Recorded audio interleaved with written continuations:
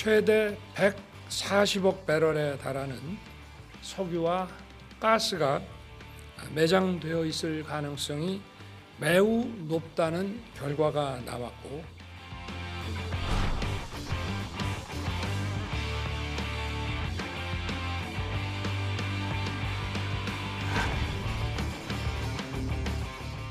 아주 어려운 작업이기 때문에 저희가 이제 지금부터 잘 준비를 해서